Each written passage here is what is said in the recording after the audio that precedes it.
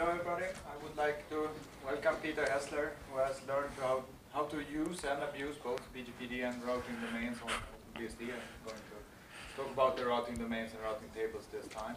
So, everybody, give Peter a hand.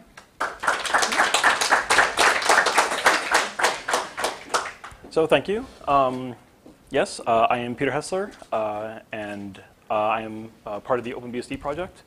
And uh, so this talk was uh, not originally on the schedule, so I had to throw it together since last night. So please forgive me if I'm a bit rusty on some of these things. Um, so we'll just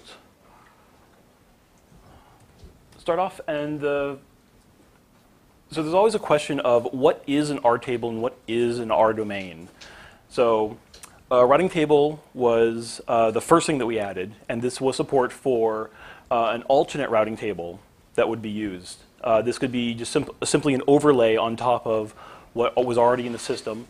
Um, you could not have conflicting IP addresses in this. It was only for, for routes to different places over different links.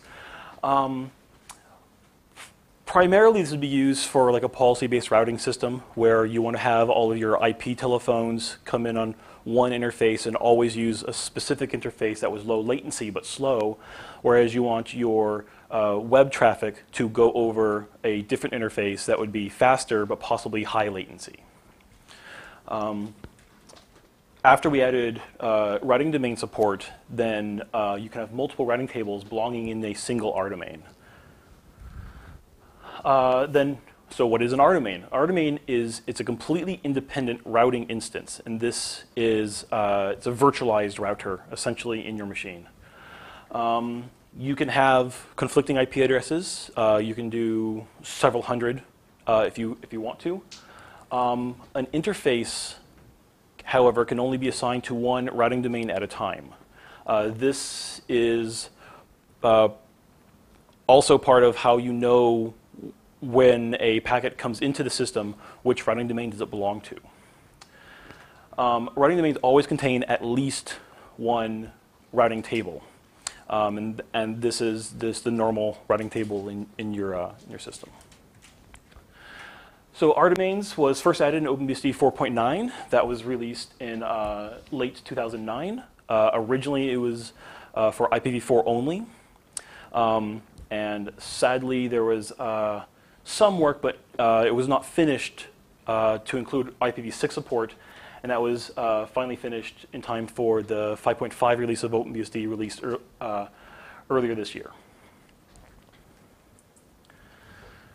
Um, so there's, there are related terminology that's commonly used in the networking field for this. There's uh, what's called VRF Lite and VRF. Uh, VRF stands for Virtual Routing Framework. This is very common amongst the Cisco and Juniper terminology. Uh, VRF Lite is multiple routing tables and multiple routing domains. Uh, this is primarily done by hand. Um, it is uh, entirely local to the system that you're running it on. Uh, any system that you connect to would not know and would have no way of knowing if that system is running routing domains or not. Uh, that's primarily where I spent most of my time with the VRF framework, is, doing, is implementing VRF Lite. Uh, and then you have VRF, which is uh, also commonly known as MPLS. Uh, this is a technique that uses BGP and uh, LPD. most commonly, large networks are doing this. So, for example, you can imagine that a nationwide cable television and internet provider would use this to connect up all of their routers over uh, leased links between sites. This would give you um, more routing choices, or uh, simpler routing choices for a, for a lot of those, those links. Um, so there's a couple things that you need to be aware of when you want to use routing domains in OpenBSD. Um, you need to have a valid route. Um, I would say that, so my recommendation is having a default route in the, in the routing domain, even if the routing domain is only used to receive traffic from. In the OpenBSD network stack, we check the packets when they arrive for a variety of things. Is the checksum valid? Is it an actually valid IPv, IP packet, etc. And one of the checks that we do is we check, do we have a route to send this packet to? to can we send it to its destination? And we check this extremely early. We check it before PF, so you cannot use PF to steal the packet and move it to another routing domain. Um, at a previous job, I was professionally supporting this um, with Avantronic systems, and I would say about 80 to 90% of my support calls for routing domains was a missing default route. So that should probably be one of the first things that you do on this. Uh, otherwise, the packet arrives and you have no idea where it goes. Um, debugging can be painful because it is a different routing domain. It may not always be where you think it is. You when you run uh, like route commands or other interface commands, they, they by default operate on routing domain zero. They can also operate on the, um, the, the routing domain can also be applied to processes, which I will show uh, later on. So it's how do you know which routing domain that you're in? You need to explicitly remember this. And when you look at, when you, have, when you build a mental image of the routing table, you need to know which routing table it actually belongs to so you know where, where it goes. Um, sometimes you want to keep the routing tables completely separate and the routing domains completely separate from each other and just do normal routing through that.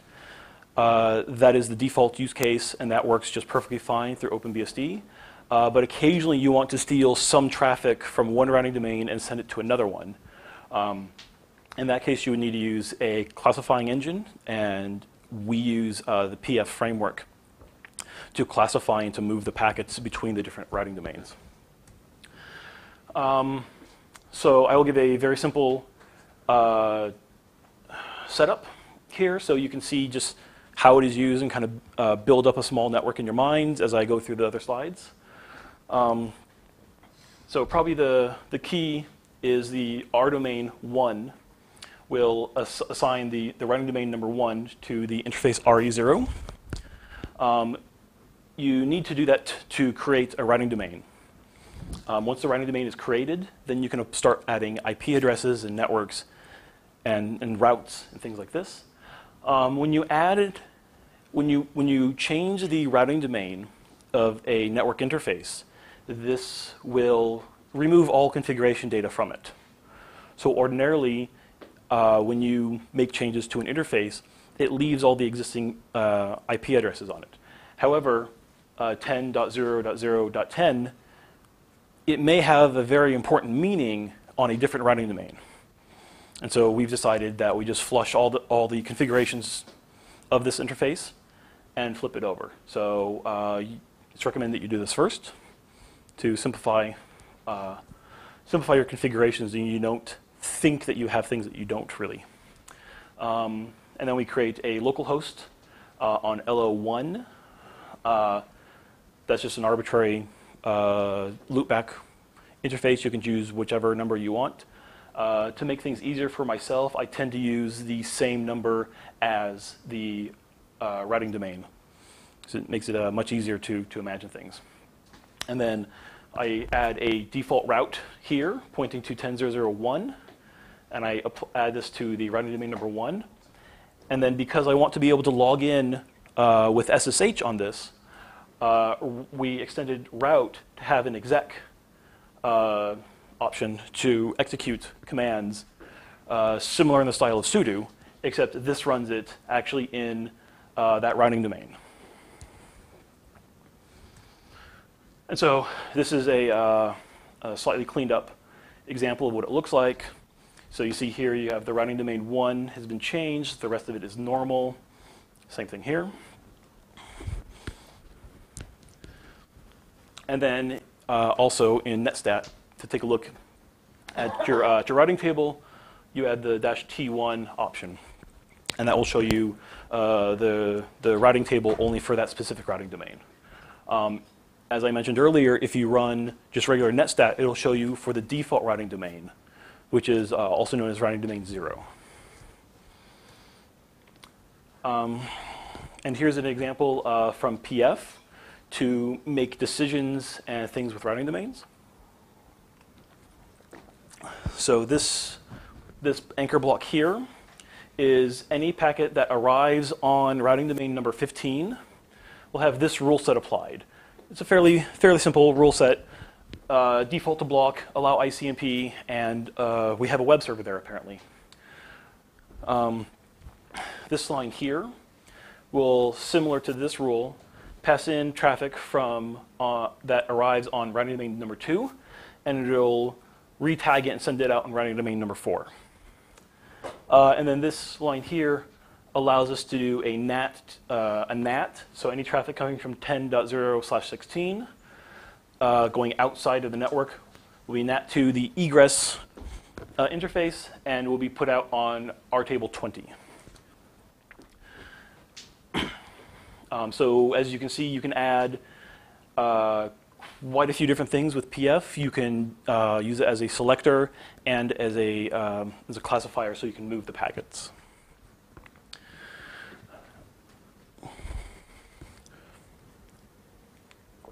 So what are some things that you would, so in a very, very common scenario in, in VRF Lite is that you would have a shared infrastructure.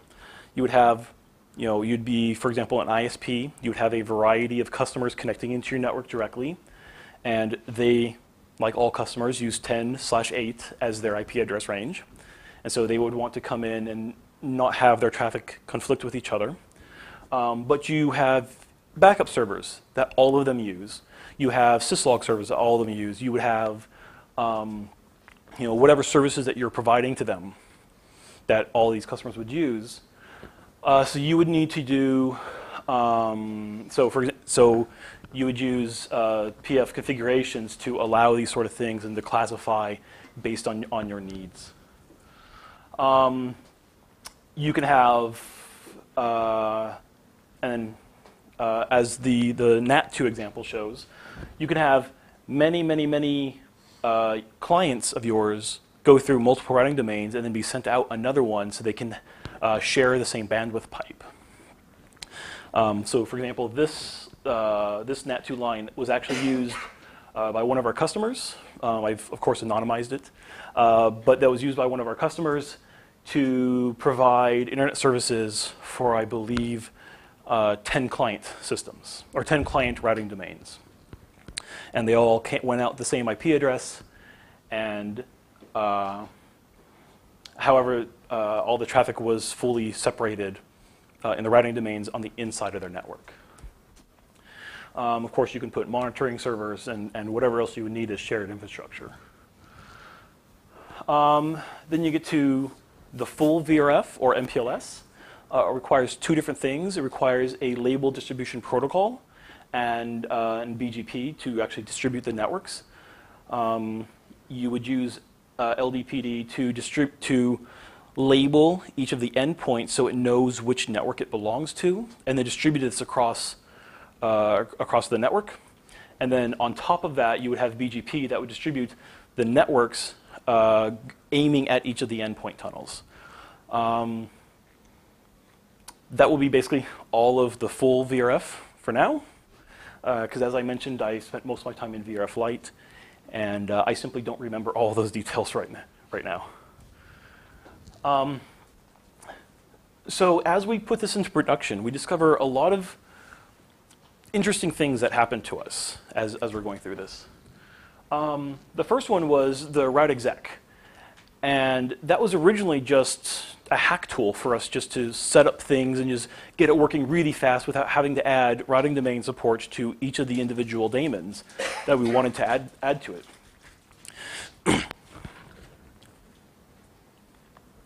it turns out to be now the officially recommended way to start multiple services in this. Um, when you have a, a, for example, a web server, and it is listening on it's listening on, on ports, it's bound normally to the default routing domain, routing domain 0.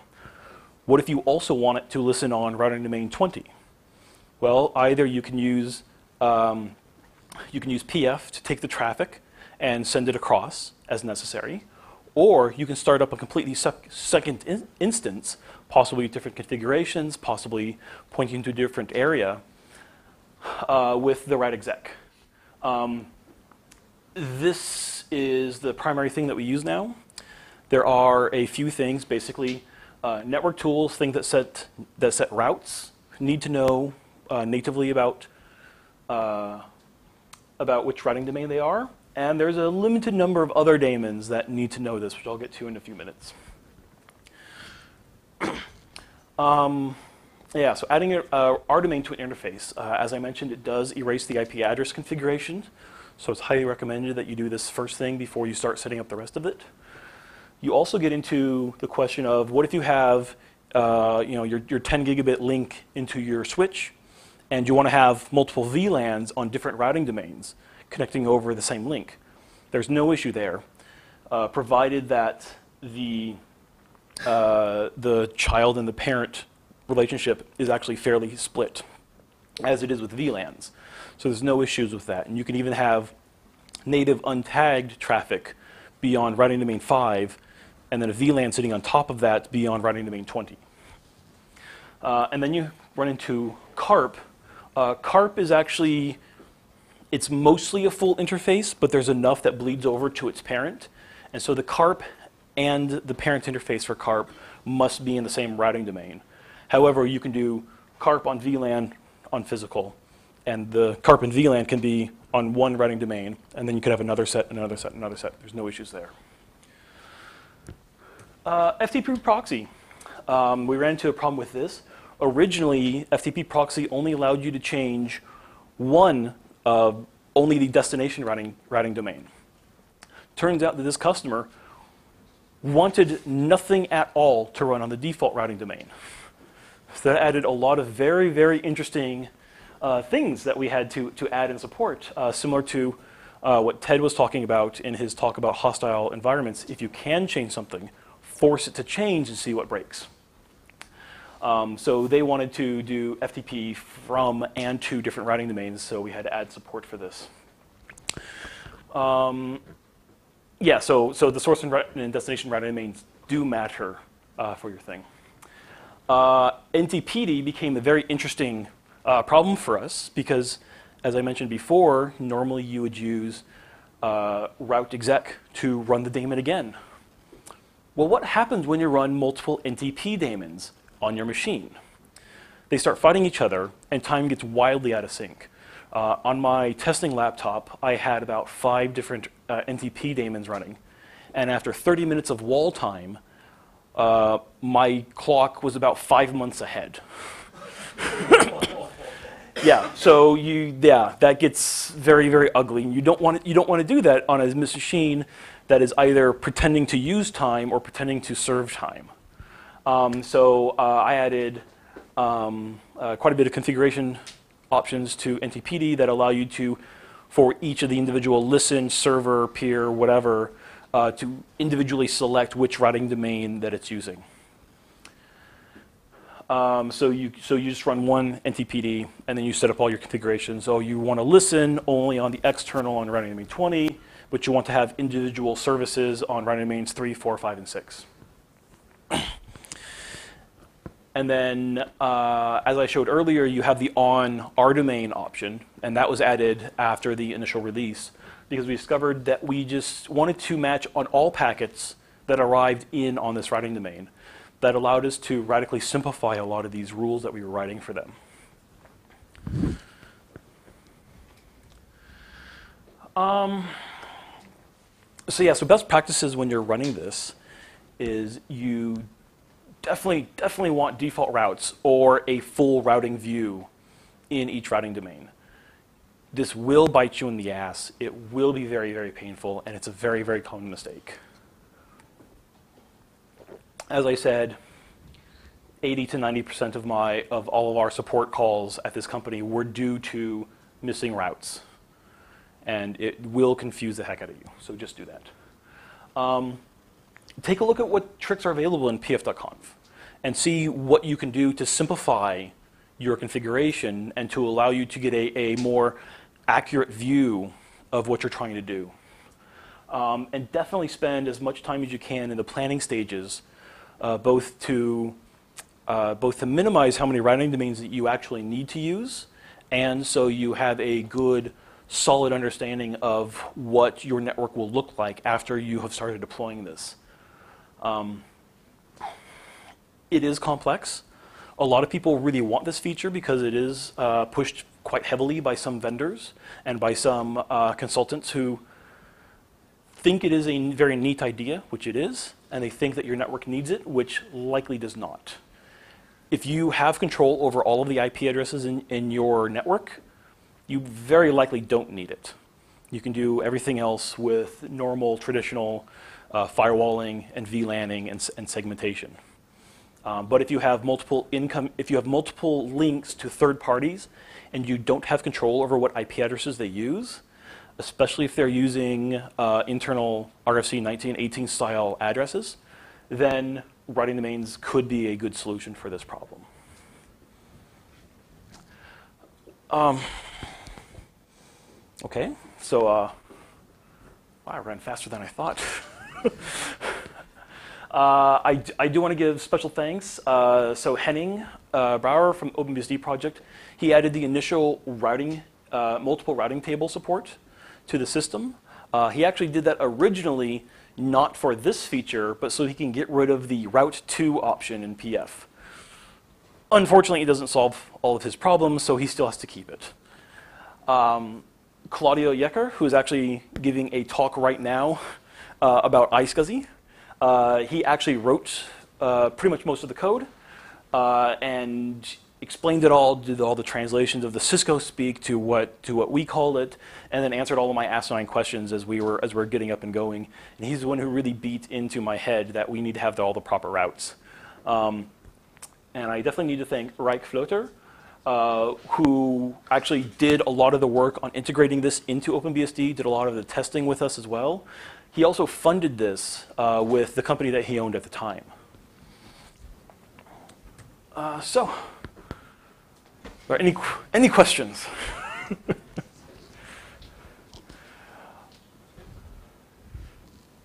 no questions? Everyone understands?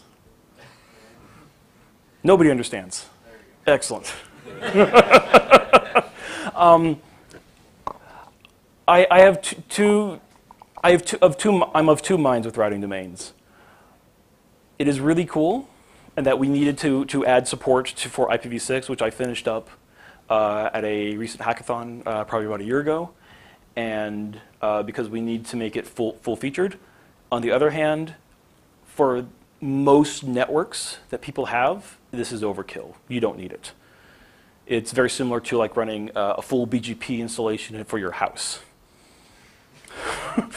you don't have a dynamic routing at your, for you. OSPF is one thing. B, full BGP at your house is another. Um, most people simply don't have the, the, that type of networking at their location, so it does so it the technology doesn't make a lot of sense to be used. But when it but when you do need this sort of thing, then we want to make it as powerful as possible and as useful as possible for you.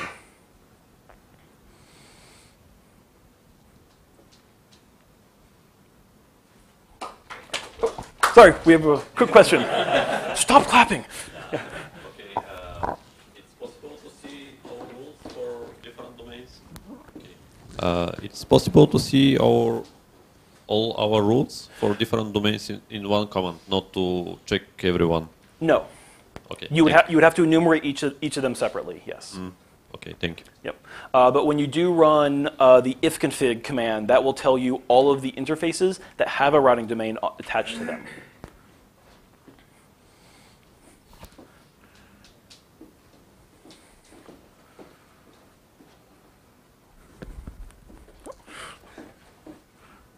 so, so, just to be sure I understand correctly, mm -hmm. first, uh, so you essentially have the default, I mean the normal routing table, which is for everything normally, and then you create the traffic domain, which are completely isolate the traffic, correct? Basically, yeah. So, so the when you start the machine and you get your and you start the networking layer, you get uh, a routing domain for yourself, and by default, it's routing domain number zero. And within the, so that is that's the default that it starts up with. If you do nothing, then nothing changes, and everything behaves as you would normally expect.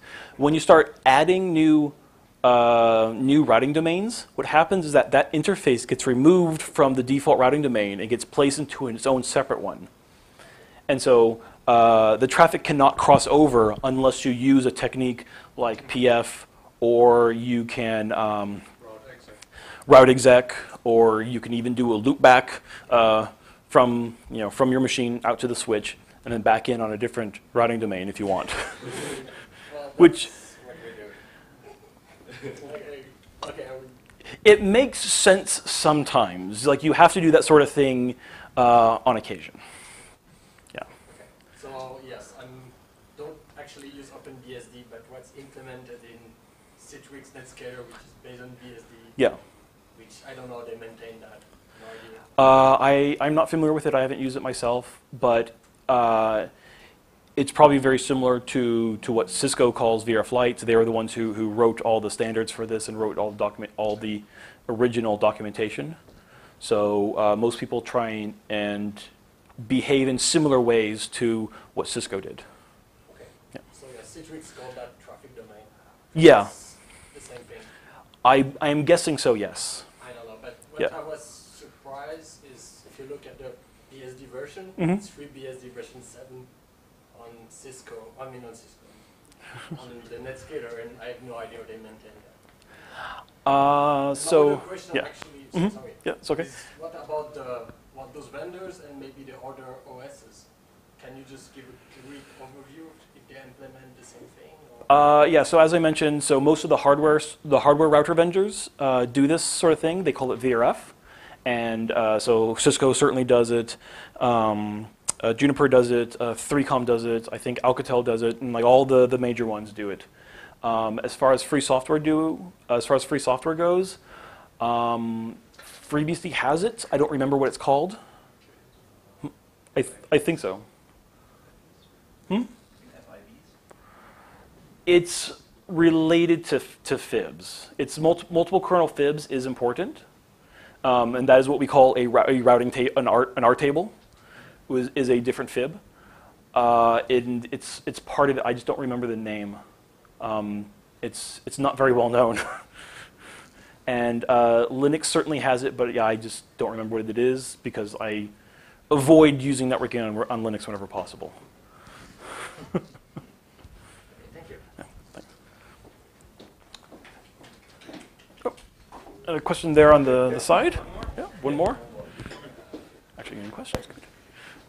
Um, yeah, just to get clarification on the thing um, at the traffic exchange between routing domains. Um, you said the only way to do this is using PF, right?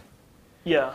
uh, okay. Um, did you choose to use PF um, uh, to have um, stateful routing?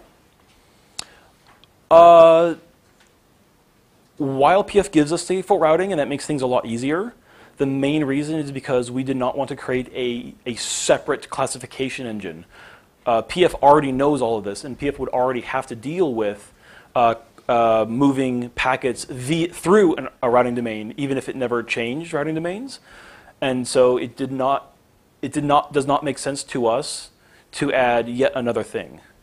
Because, like, for example, we moved all of the alt-q classification into PF, and we moved the we we moved away from the separate NAT table into into PF, and so we're using PF to tag the packets and to uh, make those decisions for us. Okay, I understand. Because um, I had um, I had a simple setup, um, um, similar setup uh, Mhm. some time ago with Junos, Yep. um, and they call it routing instances, but um, they break it badly because they don't have that um, stateful routing. Uh, so in the Junos case, you have to create uh, routes back and forth between the R domains, which makes them practically unusable. Yeah, e- exactly. And then th- we wanted to definitely simplify our lives, and we and we figured that since PF knows so much about the network, then we just do it in there. Okay. Makes totally sense for me. Okay. Uh, other questions? All right, thank you.